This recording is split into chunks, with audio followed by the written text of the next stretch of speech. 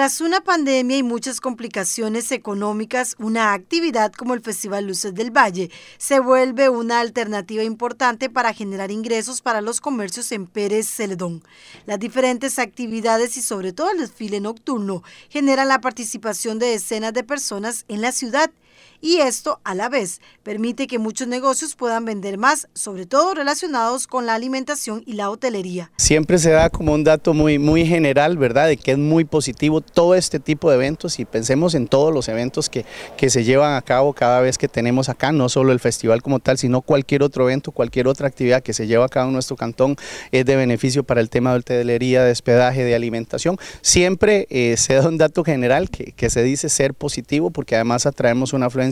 importante durante los eh, tres, cinco, cuatro días de las diferentes actividades para los diferentes nichos, ¿verdad? Y, sectores que ahí disfrutan de las actividades, pero nunca pues eh, se, ha tenido esa cuantificación tan exacta, no obstante pues siempre el, comercio, el hospedaje, la alimentación y en general pues todo el comercio lo agradece muchísimo este tipo de actividades de atracción de gente. En la municipalidad nunca se ha cuantificado lo que eso significa, por lo que es un tema que se valorará para conocer el impacto no solo social que se genera en la actividad, sino también económico. Siempre hacemos pues un, resumen de, los gastos, de las liquidaciones respectivas que se hacen a nivel de, eh, de, la comisión como tal y un evento que supera los 100 millones de colones, usualmente siempre hay una métrica, una formulita ahí básica que puede replicar eso en cinco veces o en 10 veces, como bien usted eh, lo dice. Sin embargo, bueno, ese ejercicio puntual como tal nunca se ha hecho y yo creo que es una muy buena alternativa hacerlo en su momento para pedirle al comercio, pues a los diferentes este, em, entes que participan en esto, pues que nos brinden esa información y podamos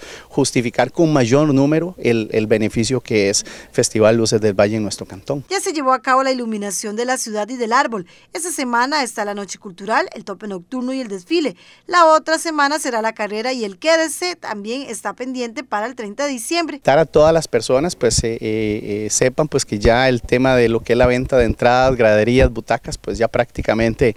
están siendo este, agotadas, quizás entre hoy o mañana quizás pues ya esté a la disposición para lo que es propiamente el desfile, hay una cantidad importante para lo que se refiere eh, del el tope, y recordarles también lo referente a la carrera y pues avanza de manera significativa, importante la inscripción, sabiendo que pues hay un cupo limitado, pero ante todo pues con, con el agradecimiento pues a los medios, a los patrocinadores, a todos los compañeros, a la propia comisión eh, y subcomités, ¿verdad?, de cada una de las actividades que iniciamos pues desde la semana pasada con lo que fue la iluminación, todo un éxito y esperamos pues que en este, el invitado especial que son todos los generaleños, todos nosotros los que vienen a visitarnos y los que nos van a mirar a través de los medios como ustedes, pues puedan disfrutar de todas y cada una de esas actividades en familia, en un mes de diciembre que es tan bonito, ya con condiciones de, de, verano y esperemos que así pues sean eh, durante todos los días de actividades eh, y con mucho cariño para todo el disfrute ante todo. Así que el Festival Luces del Valle no solo es una actividad social,